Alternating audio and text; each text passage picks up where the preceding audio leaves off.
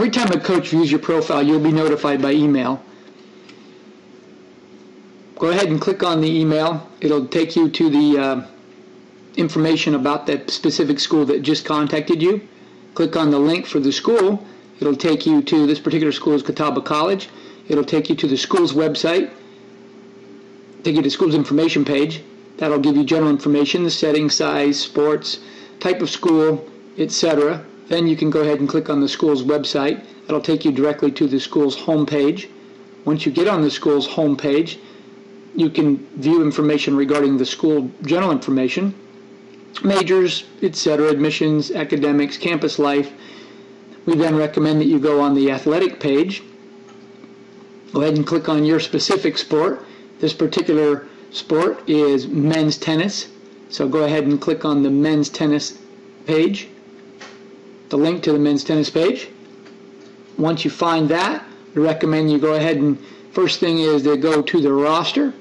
Click on the roster. It'll give you some general information regarding the current student athletes at the school, their size, how many seniors are on the team, etc. Then you can find some information about the coach. Coach Childress has a pretty good record, seems like a great guy. Uh, look at their information regarding their standings. You could see last year they were 14 and 9 and 3 and 6 overall in their conference. Not a bad record. At this point in time, we recommend that you pick up the phone and contact the coach. A sample phone conversation would sound something like this. Hi, Coach Childress. This is Aaron Van Hornbeck. I noticed you just looked at my Star Recruiting Service profile, and I was wondering if you had any questions.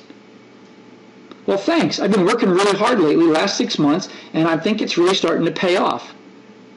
Yes, I also noticed that you graduated four seniors next year, and I was wondering if you thought I could break into the top five. You get the point. Use the notes you took from the school's website to talk to the coach. All you're trying to do is establish contact. If they're interested, they'll let you know. If they're not, they'll let you know too. You've accomplished something either way.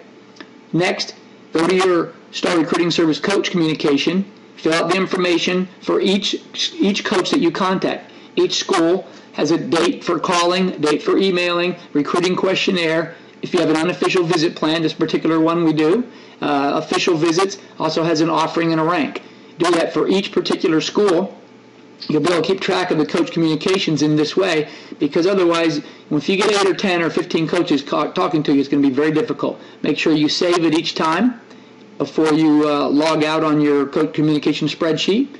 And at that point in time, you'll be back in and you'll see if there's any other coaches. Oh, look, there's a few more coaches. We need to go ahead and make some more phone calls here and talk to these other coaches. And after we do that, we can go back in and save them again, just like we did in the um, coach communication spreadsheet.